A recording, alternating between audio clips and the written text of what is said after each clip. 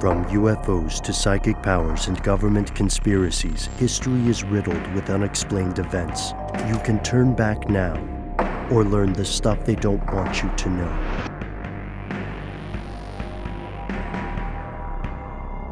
Here are the facts. As of 2016, approximately 40% of the world has an internet connection. As more than 3 billion people across the globe visit websites, social media platforms, forums, and more, their moves are tracked by numerous advertisers, intelligence agencies, website owners, and other groups. Perhaps you've recently searched for a product or service only to later find ads for similar things on every web page you visit. Perhaps you've already done your best to rid your computer of cookies, the text files that allow these organizations to track you. Perhaps you're using an incognito browser and ad blocker extensions. Do these methods work? Here's where it gets crazy. Not as well as you might think. Targeted online advertising is a huge industry, leveraging big data to point ads toward individual internet users with more and more precision. This is not inherently bad, but it is not particularly well understood in the public sphere, and that's the way some entities would like to keep it. The data you're giving each entity you visit or app you download can be sold to anyone without your consent. After all, how many people read the terms of service agreements? Within these labyrinthine documents, users agree to do things like give up rights to their photographs, allow their activities to be tracked and sold to other companies or given to law enforcement.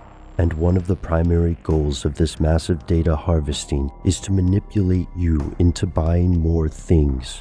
To many, this doesn't sound particularly nefarious. Sure, the argument goes, you might see an advertisement, but no one's forcing you to spend any money. Yet there's a deeper wrinkle to this story. A study co authored by Professor Rebecca Reczek at Ohio State University's Fisher College of Business found that these targeted advertisements do more than show you the next gadget you might think of buying. These ads can actually change the way you perceive yourself. In one example, Professor Reczek analyzed ads for environmentally friendly or green products, finding that the power of a behaviorally targeted ad for a green product isn't just that it persuades you to buy the advertised product. It actually makes you feel more environmentally conscious and can change your behavior.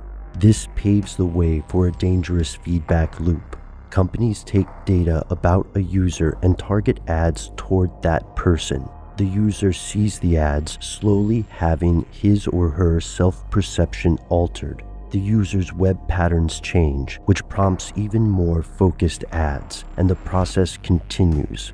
As explored in our earlier episodes on big data, companies and governments are notoriously secretive about exactly what information they're gathering and what they're doing with it. Should this practice continue without the knowledge of users, even when there's evidence that targeted ads can affect their audience in unintended ways?